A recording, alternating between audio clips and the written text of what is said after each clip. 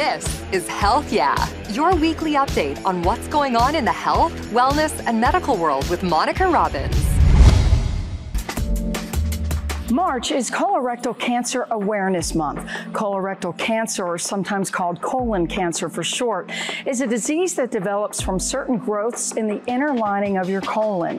It's one of the top three cancers in men and women across the country, and experts say one of the few preventable cancers.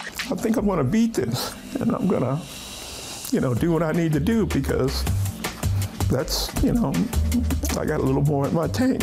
The number of younger people getting this cancer, though, is growing as well, which prompted a drop in the regular screening age from 50 to 45, and even younger if there's a family history.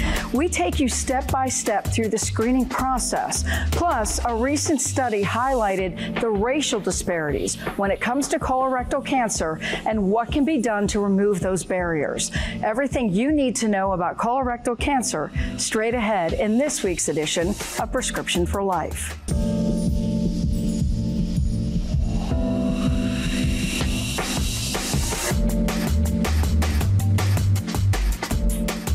And thank you for joining us. I'm Monica Robins.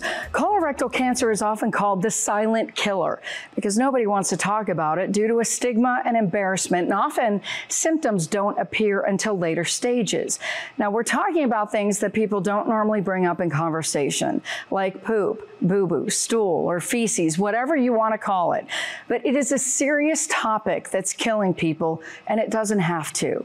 Ahead, a TV anchor takes us through her step by step process of screening for colon cancer. And we dig into the disparities when it comes to African Americans. But first, with better screening and treatments, colorectal cancer among those over 50 is on the decline, but cases are growing among younger people.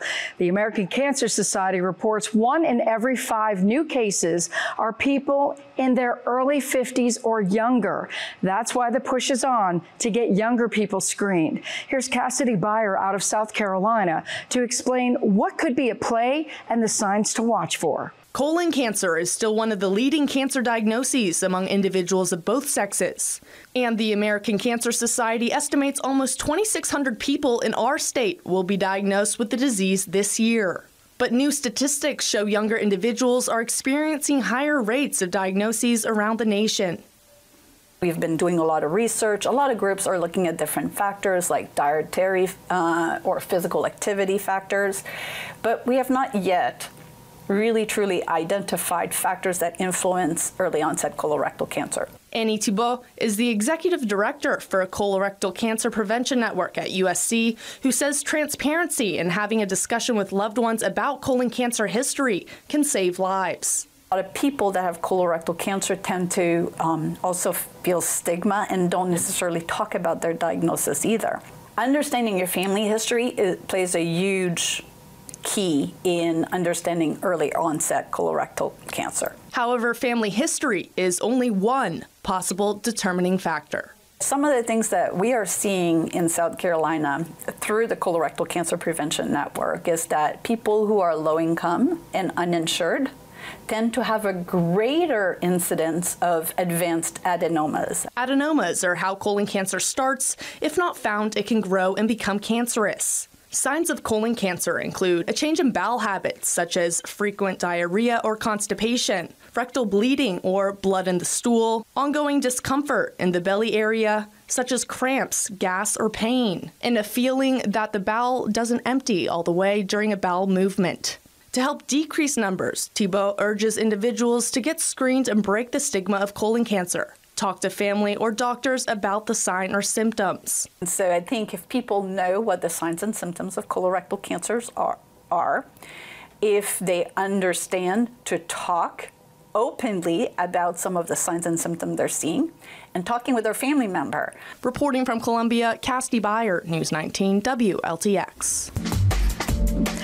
A 2022 study found black patients are more likely to get emergency colorectal cancer surgery than any other race. University of Michigan researchers found those patients undergoing emergency surgery experienced a higher rate of complications, including death.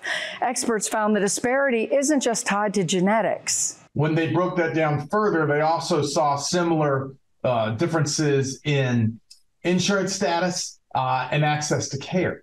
In their results and their conclusion, they postulated, well, this is probably an access to care issue. And how can we improve that? And this is kind of backed up in older studies that have shown the same thing before. Candice Red has more on what can be done to remove the barriers when it comes to African Americans in this disease. I got to do everything I can to to get through this. John Tobias is fighting for his life. Hey, sis, how you doing? Not bad. What's going on? He's relying on loved ones like his sister for support. My circle is very strong and very powerful. Uh, so no matter you know, no matter what happens, hey, I know I had, I had some of the best people around me, and that's that's that's real hard. John's at Oroville Hospital for treatment. I think I'm going to beat this, and I'm going to, you know, do what I need to do because that's, you know, I got a little more in my tank. Looking pretty good though. You've Thank lost you, thank quite you. a bit of weight though. Yeah, I'm, a- huh? I'm a little man now. He has stage 4 colon cancer. No use of just beating yourself up going, why did I get cancer? Why did I get this? The American Cancer Society says African Americans are 20% more likely to get colon cancer and 40% more likely to die from it compared to other groups. I mean, we got a lot of stuff going on each day. I hear you. Families, kids, all this stuff, work. You know, uh, we just need to learn to put that behind us when, when we ain't feeling good, you know, because that might be the first sign. John says he saw the red flags but didn't go to the doctor immediately. The bottom line was I was just scared. Some of the barriers to health equity include lack of access to information, care, screening, and other socioeconomic factors. Black patients have suffered from systemic racism. There has been redlining in America, and uh, in these communities where patients have lower socioeconomic status, where they they're from poor backgrounds, they do worse with colorectal cancer. is very much associated. The incidence is increasing in younger patients. Uh, many of us remember Chadwick Boseman, Black Panther. He died at 43 from metastatic colorectal cancer. So it's very common in the black community. Doctors say the most effective way to reduce your risk of colon cancer is to get screened routinely, starting at 45. Don't put it off. It, it could save your life and prolong your life. John's using the power of hope to conquer fear. You got to believe because believing is at least giving yourself hope. Now, for more information on this disease and what you need to know, we turn to our expert from the Cleveland Clinic. Joining me now is Dr. Carol Burke, a gastroenterologist with Cleveland Clinic. Thank you so much for being here. It's my pleasure. This is such a huge topic that we have to talk about. And yes, folks, we are going to talk about poop. I want, I want to get that out there right in the beginning. But first of all, can you explain what is colorectal cancer? Colorectal cancer is a tumor that's malignant that arises within the six foot of the large bowel. So the colon is the upper portion of the large bowel, and where stool is contained, um, you know, when it's the right time and you're able to pass your bowel movement or poop out. Um, the lower part that's um, about this long is the rectum. So the large bowel is colon and rectum, and cancer can arise from little polyps or growths in any segment of the six foot of the of the colon and rectum. And if it grows big, it can turn into cancer, and then that can go into other parts of the body and be metastatic. So, how do you know if you have it?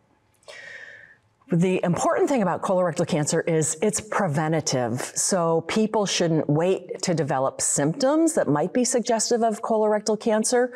But when small polyps grow big, you could have bleeding that could be microscopic, you can't see it, or overt, bright red blood or dark red blood. You could have unanticipated weight loss because the tumor is um, very active and you're not eating well because you feel unwell unexplained low blood count, abdominal pain. So I say for most patients that have seen a doctor because they have some concerning bowel symptoms, that if they don't find an answer and the symptoms persist, to be sure you have a colonoscopy to look for changes within the colon that could, and the rectum that could be those little polyps or even cancer. So, colonoscopy, we've heard the term, but explain what exactly is that? Colonoscopy is a very common exam. It's considered invasive, but I like to tell patients that it's probably 30 minutes of the best dream you've ever had because we have terrific medications where patients are very comfortable. You know, I've been practicing gastroenterology for 30 years. And patients have many barriers for, for having um, or avoiding colorectal cancer screening, and particularly with a colonoscopy. Someone will say, My sister's cousin's friend child had a colonoscopy and had a perforation, they had a hole and needed surgery, or someone had a serious medical event, or the bowel prep is terrible and you can't drink it, or I'm going to feel pain or I'm afraid what you're going to find. So there's a variety of different barriers. And I think over the years of practice, we've driven down many of those barriers. So it's painless. It's very safe with complications occurring less than a half percent of the time. It's very quick. I think the hardest thing is the bowel cleansing regimen that people have to go through, but even that barrier has been driven down with nuances in the, the approach to preparation. And I think it's important for people to know it's covered by insurance, no matter what kind of insurance you have. Absolutely. So colorectal cancer screening now, not re- looking at symptoms. So colonoscopy is covered for symptoms, but colorectal cancer screening is recommended beginning at the age of 45. It used to be the age of 50 for many years, for at least 20 years, um, the American College of Gastroenterology recommended in African Americans to start at 45 because of the increased risk of cancer and the more advanced stage when detected.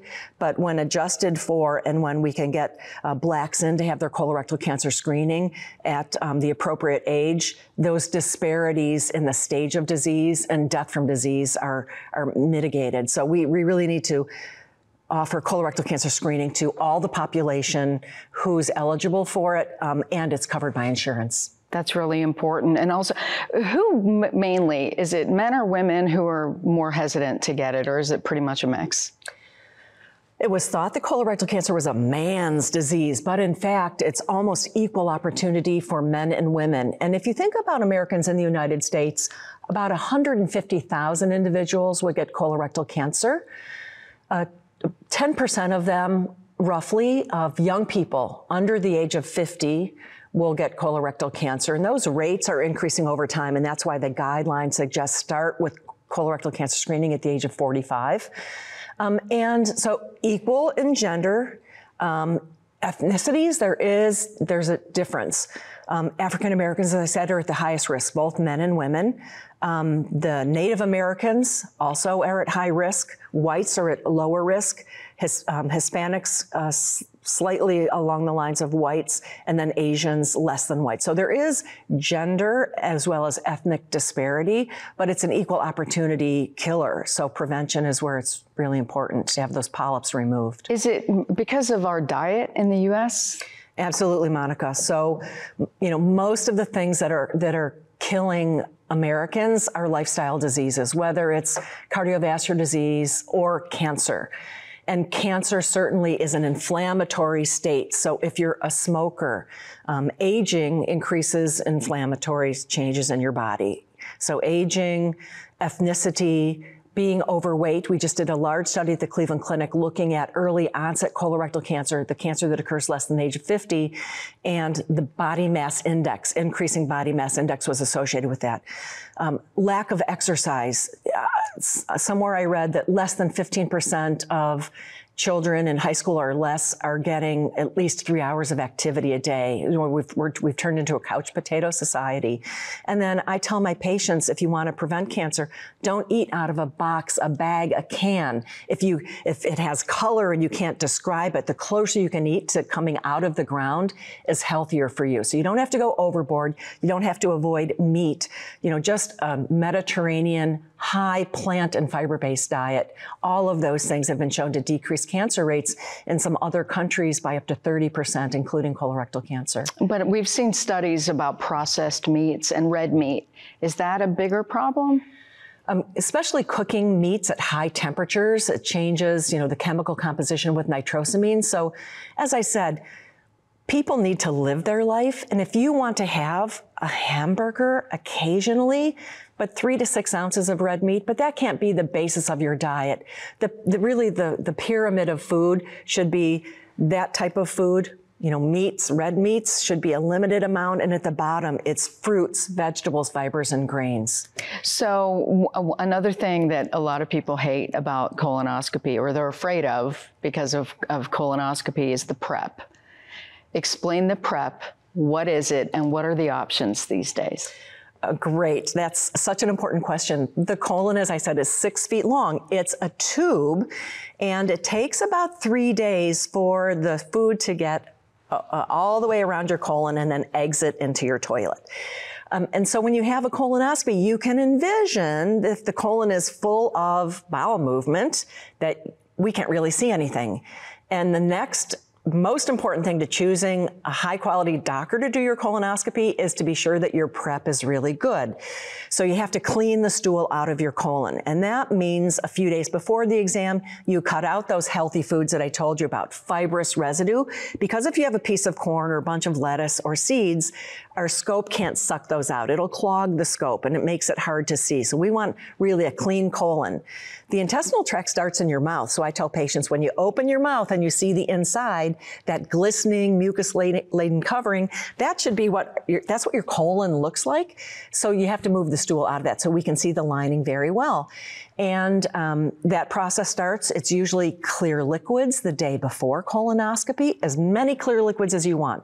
Some people ask me if vodka is a clear liquid, and I say, no, that wouldn't be the best clear liquid. Avoid that. But clear liquids, you said you used Italian ice, you know, lemon ice, popsicles, tea, sports drinks, anything that you can see through, even black coffee. It just can't have milk products in it. But as time is going on, we're realizing that there will be a time where we actually let people have um, a low residue diet. So white bread, an egg, uh, maybe some rice um, in limited quali- quantities the day before the exam because people feel a little better. It's a challenge not to be able to eat the day before the exam because you're seeing all the ads for hamburgers and hot dogs and candy. Um, so we'll get to that point. But so you need to adjust the diet and then you need to take a laxative, either a prescription laxative or an over the counter preparation. So we have props. We do have props because I, you know, I've had three colonoscopies, and each prep was a little different. Um, I'd never had to do this one. This is the one that actually scared me. I'm like, I don't know if I could drink all of that the day before. Yes, this is a gallon and it is um, polyethylene glycol. It is safe for everybody, usually very cheap if you have to pay for it, covered by insurance. And you need to drink all preparations in two doses.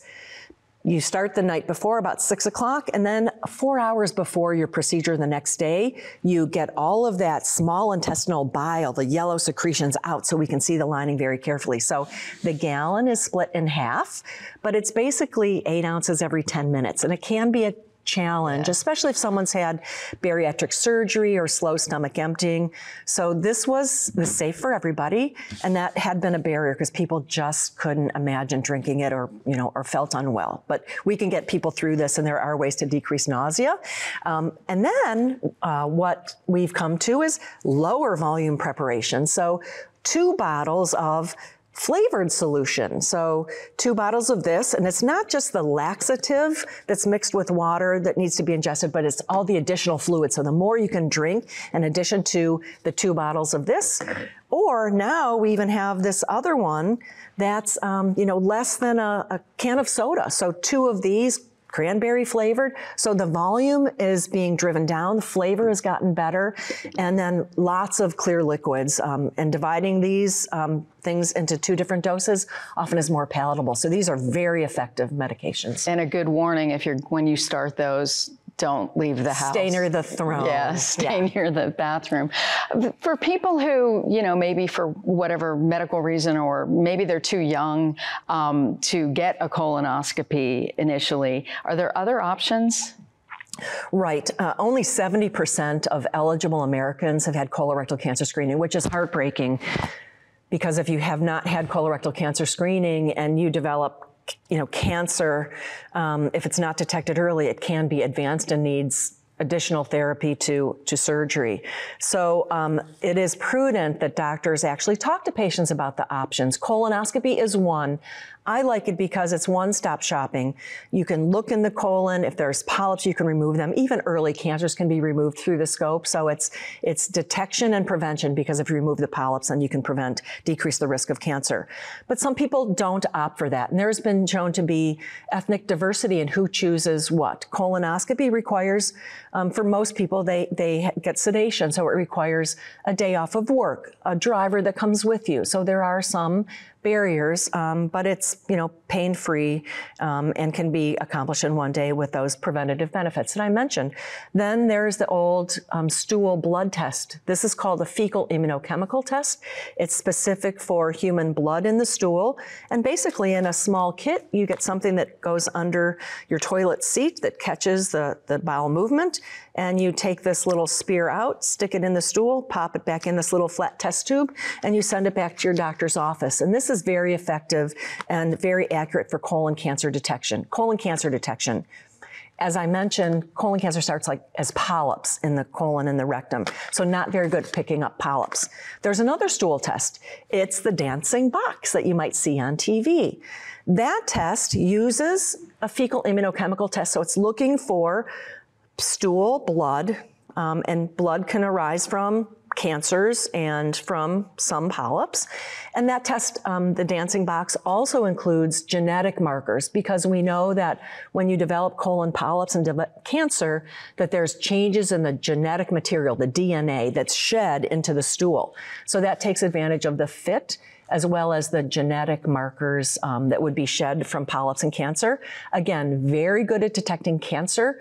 The detection of polyps is about 50% with that dancing box test. Is there, are there other things? Short scopes that we don't really do anymore, the sigmoidoscopies, but those could be coupled um, with a fecal immunochemical test. What about um, virtual?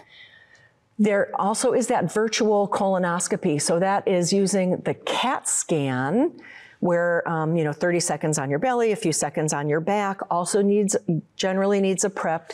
It is not preferred um, because insurance companies don't always pay for that, but it does get paid for if individuals, for some reason, cannot have a colonoscopy. And it is very good at detecting large polyps, medium polyps, and cancer. But again, not always covered by insurance unless there's a good reason someone could not have a colonoscopy if needed. Are there other reasons that you could have blood in your stool? Absolutely. And, and a word of caution here. Now that early onset colorectal cancer is on the rise, I have had many um, physicians throughout the country and patients say, I've been to the doctor, I had bright red blood um, coming out of my rectum, and they said, it's hemorrhoids. Now, hemorrhoids are a common cause of rectal bleeding. Um, it's painless bleeding, right? It's bright red blood. It can be dripping out of the toilet. You find it on the tissue when you wipe but it could also be a sign of early onset colorectal cancer. It doesn't have to be early onset colorectal cancer. And what's, what's really interesting about this phenomenon in young people is it's left-sided and rectal. So most cancers in people over the age of 50 um, and about 5% of us will get colorectal cancer. It's, it's on the right side of the colon. But young people, and it's particularly white young people where this is really increasing quickly, it's rectum and left side. Um, so that could be bright red blood. Um, oftentimes for right-sided colon cancer, it, um, the, you know, it could be mixed in with stool so you don't see anything. But hemorrhoids would be a common cause. Painless, bright red blood, usually with defecation. Um, another cause is fissures. So people will say, you know, i am I'm, my anus is so painful and, and when I wipe I see red blood, that's a fissure. It's like a paper cut or a little crack in the anus.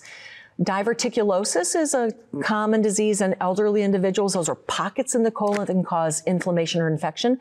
They can be a cause of bleeding, bright red blood. It's just usually painless. Just, they just open and bleed. So I would say for anyone that's experiencing bright, bright red blood, that, they, that your doctor, um, that you haven't talked to your doctor about, go see your doctor. And if they don't see blood coming from a hemorrhoid, they don't know where it's coming from, then I would suggest that a colonoscopy is the best approach to be sure that it is something that's, that's not serious or life threatening. Are you finding though that a lot of physicians are dismissing younger patients with that excuse that, oh, it's just a hemorrhoid, oh, you're, it's just a whatever. Yeah, you're too young to have something like that. Yeah. Many physicians, I think, are, are with the increased awareness of this, not only patient awareness, but physician awareness, they're becoming more um, concerned about it. And, and I find that less young people are being dismissed. You know, as we talked about the before, the, the important point is if you have a symptom that you're concerned about, please share that information. Share that with a family member who might encourage you to go to the doctor. But if you're not satisfied, right, if they haven't found a reason for you to have rectal bleeding, don't be dismissed make sure that you're an advocate for yourself and then you know see another healthcare provider. And a gastroenterologist would be a perfect provider to see to talk about your symptoms and, and what options are available. Is it you know does the does the bleeding just continue? Is there a time period? Like if it doesn't stop within a week or or two weeks or something then you really need to see someone else? Um, no no. I, i've had personal experience with family members that said oh I had COVID, so I had bright red blood and it went away. And then they were diagnosed with metastatic colon cancer. So certainly some of the characteristics about the pace of bleeding, the amount of bleeding, the color of the blood that you see, your blood count if it's tested, those all go into making a decision. So it's really important to not dismiss it yourself, don't let a doctor dismiss you if they haven't found the reason for it. So you can't really base it on duration or type. I just, I, I would say get an evaluation by a professional and don't don't try to diagnose it yourself. Final final thoughts. What do you want people to take away from this? Colon cancer is preventable. Please have screening. Talk to your doctor about it. There's many methods to have colorectal cancer screening if you have colorectal cancer screening that's not, col- that's not colonoscopy and it, it, it is abnormal, you need to have a colonoscopy. Colonoscopy can be done safely. It can remove polyps. It can prevent cancer. It can also detect early cancer, some which can be removed through the scope. And if early cancer is detected, it's usually, if it needs surgery, it's curable. Talk to your family about heredity because colon cancer can run in families and individuals with a family history might need earlier colorectal cancer screening then beginning at the age of 45 to 49. And as a young person, don't dismiss the conversation, don't dismiss any symptoms that could be concerning for a colon disease, including colorectal cancer, see your doctor. Especially if you're African American or, or, or a young person, even the white person. young people. Yes. All right, great yeah. advice, great insight. Thank, Thank you, Dr. You. Burke. My pleasure. Dr. Burke walked us through a colonoscopy and some of the prep, and it's certainly not glamorous, but it is important. Abby Ham from our Knoxville TV station went through a colonoscopy and takes us through the step by step screening process. I am 43 years old. My grandmother had colon cancer twice and I had an odd test result at my doctor's office during my yearly physical. Both reasons I decided to get a colonoscopy younger than the recommended age of 45 with the help of Dr. Tejal Mistry at Gastrointestinal Associates. You're not going to feel a thing. If you have a family history or other, you know, inflammatory bowel disease or, you know, other causes that may have you to even be screened earlier, you can discuss that with your uh, physician and you may get screened earlier than 45. These are the main rare complications. But it's even earlier if your family history involves your mom or dad. Guidelines say that first degree relatives, you start at 40 or 10 years earlier from when your first degree relative was diagnosed, whichever one comes first. Colorectal cancer is the second most common cause of cancer deaths in the U.S., according to the American Cancer Society. Numbers show this year alone, more than 153,000 people will be diagnosed with colon cancer, and a third of those people won't make it. That's why screenings are so important. I want my mommy. We have all probably heard about the prep. Let's be honest, the whole process is less than glamorous. You start a liquid diet the day before and then drink a ton of water and take a lot of pills the night before. One of these every two minutes with water, and there's 12 of them. This is part of the prep. Then the morning of, more pills, more water. Down the hatch. Then the process begins. Check in. We'll get you some warm blankets. Change clothes. This is your colon. Chat with your doctor. I need sleep. Then some good meds. We're all here Thank you guys. Thank you. And the main event, the colonoscopy. The mucosa lining is kind of shiny. Seems super easy, right?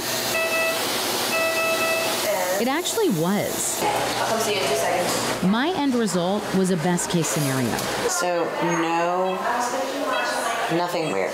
Nothing weird at all. But had it not been, I would have detected any issues early, You did great. We're all finished. Which is ideal. Most cancer screenings are you're getting screened to see, oh, do I have the cancer or not? Yes, that's what a colonoscopy is for, but a huge reason is prevention. We take out the precancerous polyps, we take out polyps, and kind of you follow up in three to five to seven years. That'll do it for this week's edition of Prescription for Life. Thank you so much for watching. We'll be back here with another dose next week. Until then, I'm Monica Robins wishing you and yours good health. Thank you so much for tuning into Health Yeah. Please find me on Twitter and Instagram at Monica Robins. Like and follow my Facebook page, Monica Robins WKYC. Find video podcasts at Monica Robins channel on YouTube. And please subscribe. Wishing you great health and hope to see you again soon. Thanks for listening to Health Yeah with Monica Robins from WKYC Studios. Subscribe now so you never miss an update. And find more on everything you heard here on WKYC.com and on the WKYC app.